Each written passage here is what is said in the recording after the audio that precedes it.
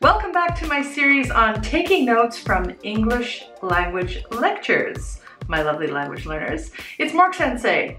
So far, I've made videos on what tools to use, verbal cues, nonverbal cues, note-taking systems, and abbreviations.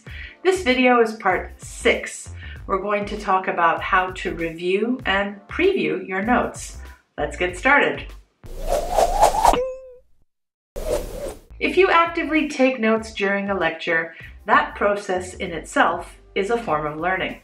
But when most people think of note taking, they think of doing it for the purpose of review at a later time, such as before an exam, right? While it's true that reviewing your notes is very important, did you know that the best time to review your notes is within 24 hours after taking them? Reviewing your notes as soon as possible after a lecture is considered a best practice. If you don't do this, your retention, which is your brain's ability to remember, will drop sharply. Some people benefit from rewriting or recopying their lecture notes. However, if you do this, making sure you're actively thinking about your notes while doing it is really important. If you just copy them neatly without thinking about them, it won't necessarily help you remember. But revising your notes is even more useful. Manipulating your notes by reorganizing and rewriting them in your own words forces your brain to work, and this will lead to better understanding and recall. Especially if you use the Cornell method to take notes, you can use the margin space on the left side of the page to fill in abbreviations, add points you missed, correct errors, and write keywords. Read your notes to be sure you can clarify confusing or illegible material. Most of us have messy writing when we try to write quickly during a lecture. In the Cornell method, you should try to have a section at the end of your notes to summarize. This is where you can connect ideas and concepts in a lecture to help you see the big picture, which is the overall view or perspective of a topic. If you review and revise your notes soon after a lecture, you can fill in further facts and examples while the lecture is still fresh in your mind. Working with a classmate is a great idea because you can help each other. You may have missed something important that your classmate wrote down and vice versa. Don't forget that you can also clear up misunderstandings and fill in missing information by consulting the lecturer or teacher too. You can also consult with other reference materials.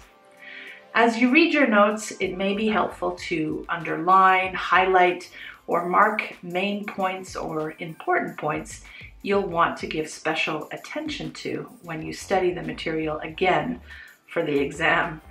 It might be useful to elaborate on your notes. This means to add more information or explanations and to compare information to what you already know.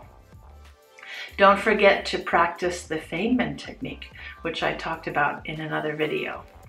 Practice reciting the information using only keywords. Talk with other students about the lecture. If you have an exam a month or more in the future from the time of the lecture, don't forget to review your notes in short weekly review periods. Once a week, go through all your notes again. You might try putting a review schedule in your calendar to help you make it a habit. So far in this video, I've been talking about revising and reviewing your lecture notes. What about previewing? Previewing is something you do before a lecture to prepare your brain to accept new information. Generally speaking, it's a good idea to carefully look at your course syllabus to get a preview of what any future lecture will be about. If you have access to any study guides or review materials early in the course, this will also help you to predict the content of lectures. Another good way to preview is to simply review your now perfect notes from the previous class right before the next lecture. Sometimes the lecture may be about a completely different topic, that's true, but often the lecture will build upon information presented to you in the previous lecture. So if you review your notes about the previous lecture right before the next one, your brain will be better prepared to learn. Okay, everyone, we're at the end of this video. The most important concepts to remember are to revise and review your notes as soon as possible after the lecture, to review them regularly, and to preview them before the next lecture. The next video in this series is the last, and that's going to be all about getting familiar with your teacher's style of lecturing. I hope to see you all again very soon. Mork Sensei, signing out. Mwah.